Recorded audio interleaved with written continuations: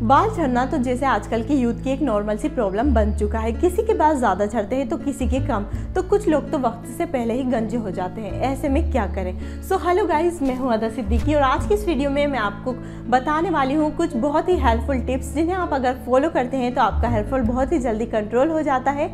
यानी आपके बाल झड़ना रुक जाते हैं। तो चलिए वीडियो को शुरू करते हैं।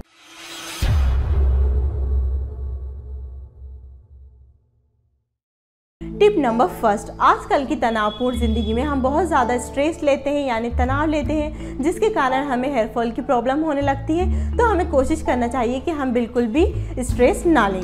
टिप नंबर सेकेंड, अपने हेयर को वॉश करने से दो घंटे पहले एक बाउल लें, उसमें कोकोनट ऑयल लें, इसमें आधे नींबू का रस मिलाकर इसे अच्छे से मिक्स करें और अपने फिंगर्स की हेल्प से अपने स्कल का मसाज करें।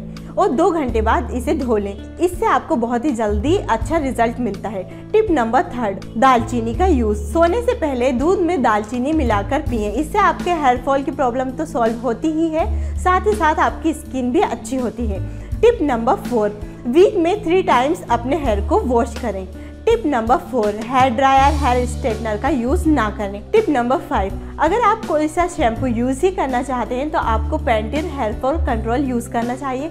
इससे आपको बहुत ही जल्दी, बहुत ही अच्छा रिज़ल्ट मिलता है। वैसे तो आपको कोशिश करना चाहिए कि आप आयुर्वेदिक प्रोडक्ट ही यूज़ करें। टिप नंबर सिक्स अपने खाने में एग्स और वॉलनट का यूज़ करें अगर आप एग और वॉलनट का सेवन करते हैं तो भी आपका हेयर फॉल की समस्या बहुत ही जल्दी सॉल्व हो जाती है। सो so गाइस आज की इस वीडियो में हमने जाना कि कैसे हम अपने हेयर फॉल की समस्या से छुटकारा पा सकते हैं, यानी हेयर फॉल को कंट्रोल कर सकते हैं।